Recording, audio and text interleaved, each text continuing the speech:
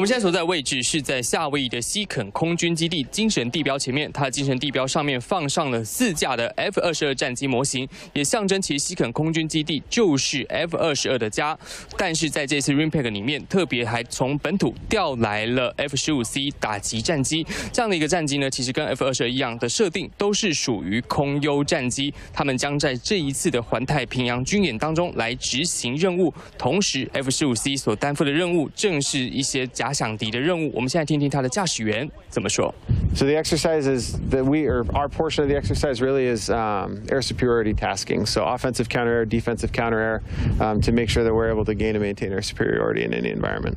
F 十五 C 未来呢，即将陆陆续续的从美国空军中来退役。不过在之前曾经传出台湾军方一度有意愿想要用租借的方式将 F 十五 C 纳为己用，因为我们的幻象两千战机在国军的设定当中也是属于空优战机，跟 F 十五 C 是一样 这样的设定。但是 F 十五 C 要是真的能够租借